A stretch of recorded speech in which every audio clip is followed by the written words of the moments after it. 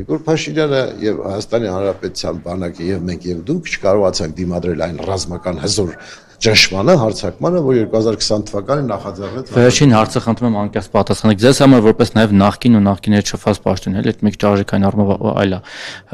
Արցախի հարցը փակված է թե ոչ վերջնական։ Տեսեք, մենք բոլոր մեր երազանքները Էմոցիոնալ առումով դուք ո՞նց եք։ Էմոցիոնալ առումով եմ ասում, մենք սկսած պատմական Հայաստանից, մեծ հայքից, բոլորս այդ պատմության հետ առնչվել ենք, առերեսվել ենք, ընդունել ենք այդ ցավագին իրողությունը, որ այդ հսկայական կայսրությունից, հսկայական պետությունից մնացել է փոքրիկ կտոր 29840 կիլոմետրը հիմա մի քիչ էլ է քչացել 740 743 կիլոմետր բայց բան մակարեջան ես ասում եմ ամենալավ կարծեմ թե ներդեի խոսքեր են որ Շնամուտ բաժելու լավագույն ճանապարհը նրա քթի տակ հզոր պետություն կառուցելն է։ Մենք դա որ կառուցենք, այդ մեր բոլոր երազանքները կիրականանան։ Հարկավոր է սրա վրա կենտրոնանալ, ոչ թե կարող է Արցախելի մի օր հետ բերենք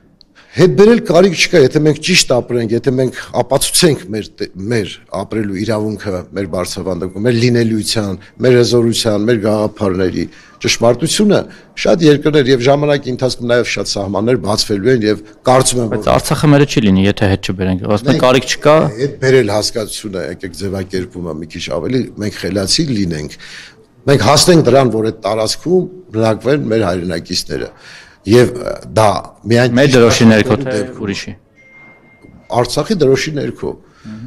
երբ որ մենք հասնենք այդ գիտակցությանը եւ նաեւ այս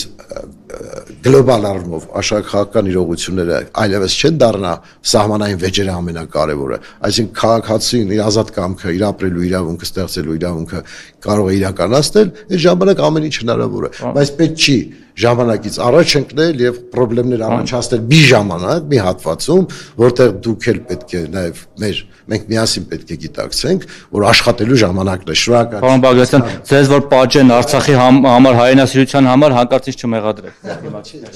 հա։